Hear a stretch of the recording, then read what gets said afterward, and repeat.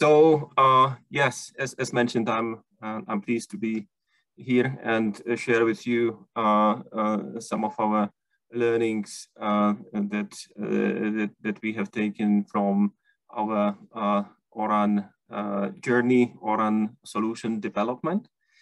Um, I would like to give you a broad overview um, about about that journey and um, and uh, and also context. And and then also focus a little bit uh, on what uh, what role uh, uh, some of the open source communities play in in our development. And in particular to give you some update how how we use ONAP and why it is important uh, for uh, for us that um, that this that this kind of community effort is is really uh, taking place and is successful.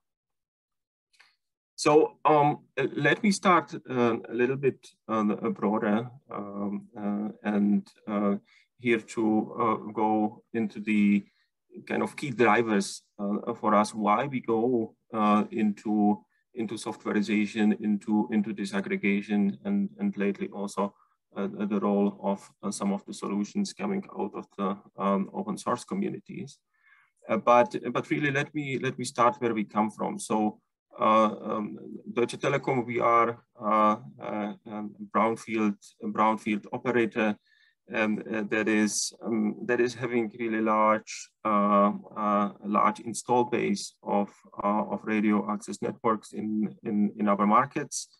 Um, we have also a complex spectrum holding uh, involving uh, um, large, uh, large footprint of different, uh, different spectrum components.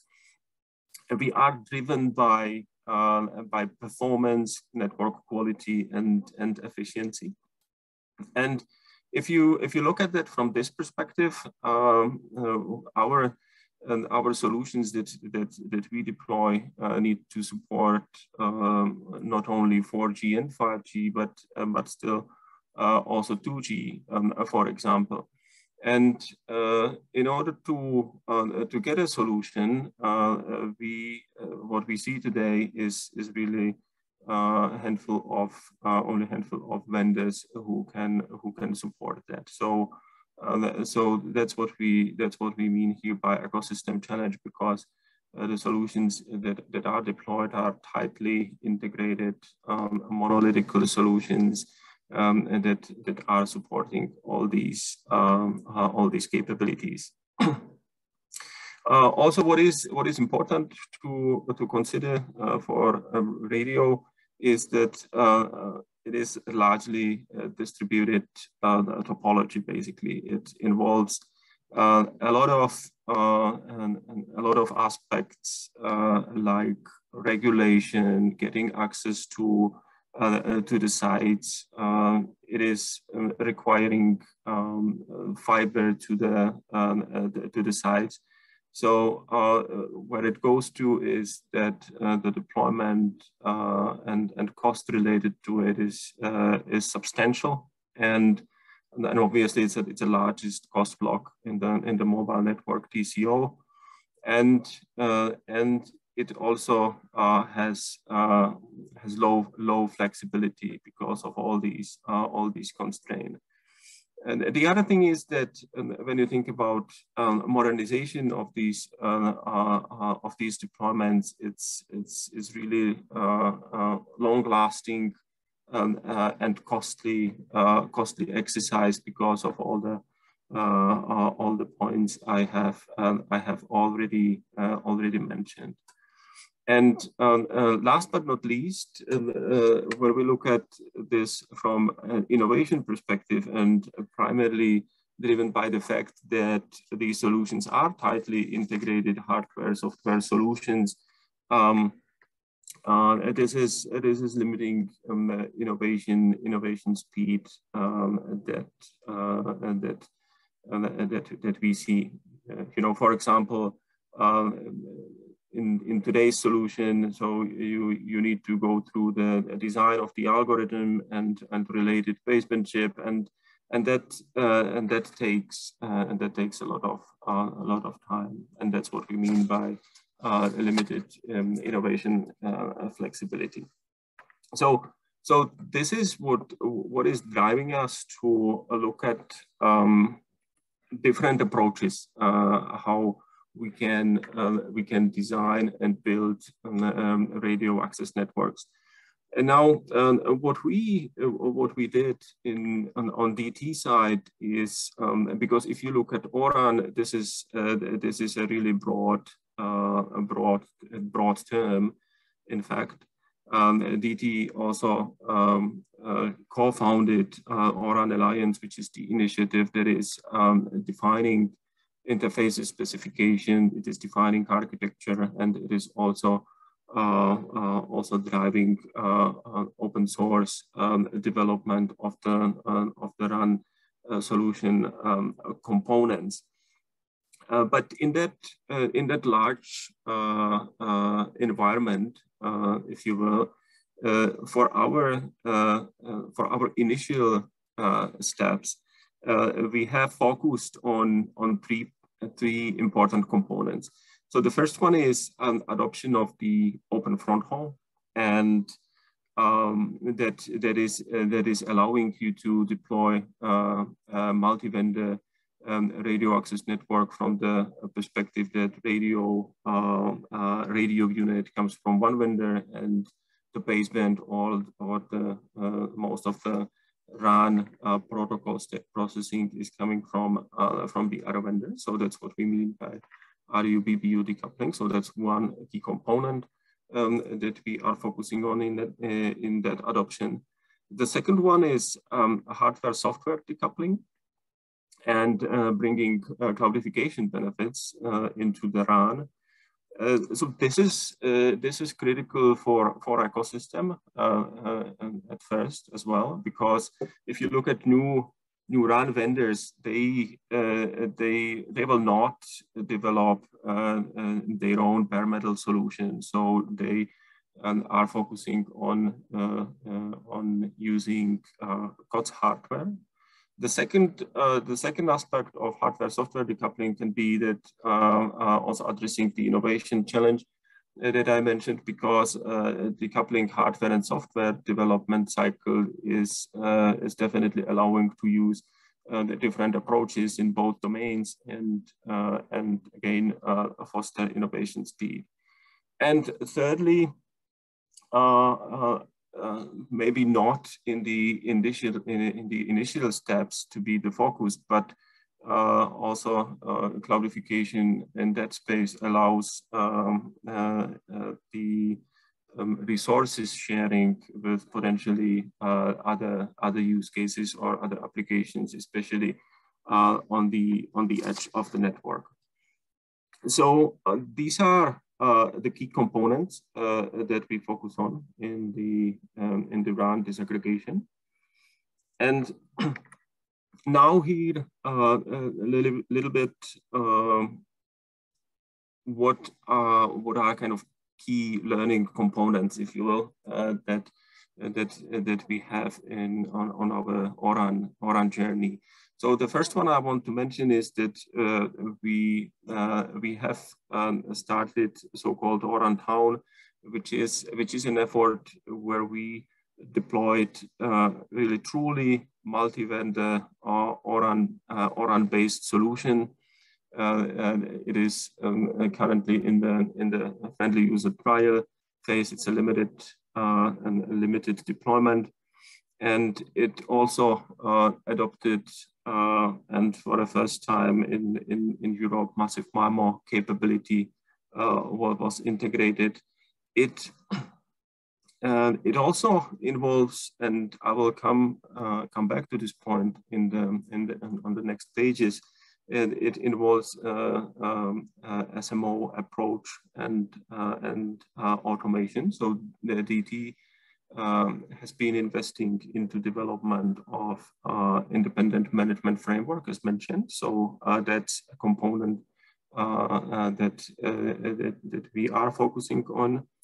As a third point, um, in order to foster uh, foster sustainable ecosystem and also help Uh, the the uh, new new newcomers into that uh, into that field so that they can contribute into the solution uh, uh, we have started an activity in Berlin uh, called i14y Lab. So it's an effort where we are deploying a, a, kind of reference ORAN-based architecture that would that that will allow a component or sub subsystem um, solution providers to to come in, integrate, and do interoperability tests, and with that also um, uh, kind of uh, uh, help with the productization of the of the solution.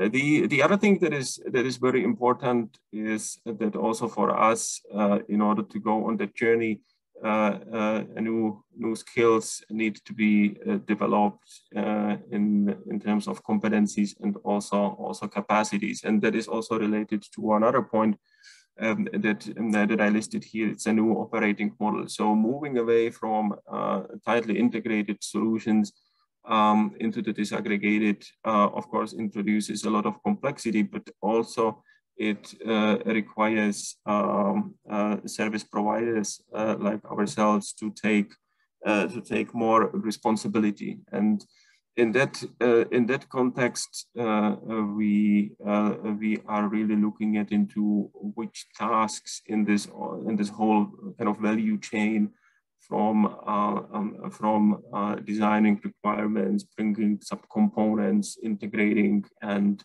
um, finally deploying and operating, which which which task, for example, in the system integration space, we we should be we should be taking and which are uh, then the task uh, for uh, for other players that are better positioned in, in, on the market to to drive. And last but not least, uh, the, the other uh, key focus area for us at the moment is also vendor selection. So uh, who will be the, um, the vendor for, for large scale, future large scale um, deployments. So moving now uh, a little bit uh, more in detail into the uh, in, in, into this point of uh, independent um, management framework, as mentioned, um, that one is uh, for us a critical component because uh, in that in that area we believe that it is enabling the supplier flexibility because uh, we are uh, gaining uh, gaining a control point here that would allow easier replacement or evolution of the of the subcomponents. And of course, uh, what is often uh, uh, often highlighted, and it's and that's what we see also in our in in our efforts, is that disaggregation brings uh, complexity and uh, that uh, that complexity to to really manage uh, cloud native deployment, um, having a CNF based RAN functions requires uh, requires a lot of automation for uh, keeping um, keeping efficiency.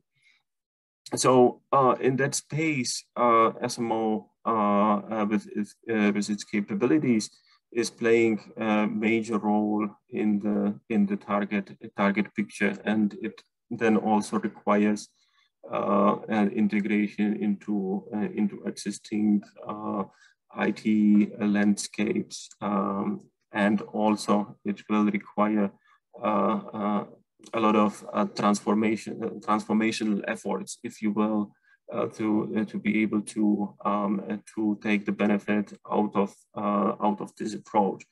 what I mean by that is that um, if you look at today's uh, if you look at today's operating models it is it is really uh, often often using uh, the sequential waterfall um, processes that is that is um, uh, involving uh, a lot of large upfront uh, design. And then you have organizations uh, focused with expertise on on on the uh, on the sequential steps like uh, design, procurement, implementation, integration, etc.